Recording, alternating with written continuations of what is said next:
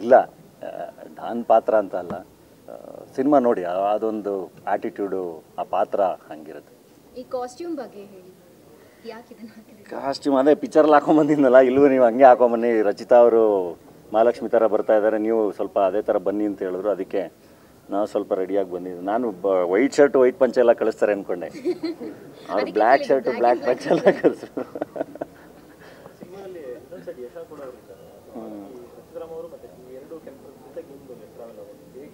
ಇಲ್ಲ ಅದು ಸಿನಿಮಾ ಬಗ್ಗೆ ತುಂಬ ಡೀಟೇಲ್ಸ್ ನಾನು ಹೇಳೋಕ್ಕಾಗಲ್ಲ. ಯಾಕೆಂದರೆ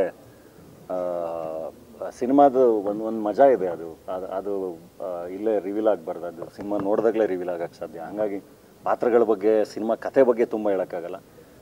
Very intense emotional cinema very beautiful film ಮಾಡೋಕ್ಕೆ ಕಾರಣ once again team team ಅದ್ಭುತವಾಗಿತ್ತು. And one of the main reason was Vikhyat Rachita Ram ಅವರು.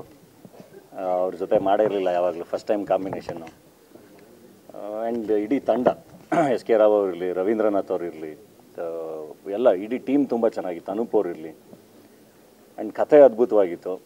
ಸೊ ಮಾಡೋಣ ಅಂತ ಹೇಳಿ ಮಾಡಿದ್ದು.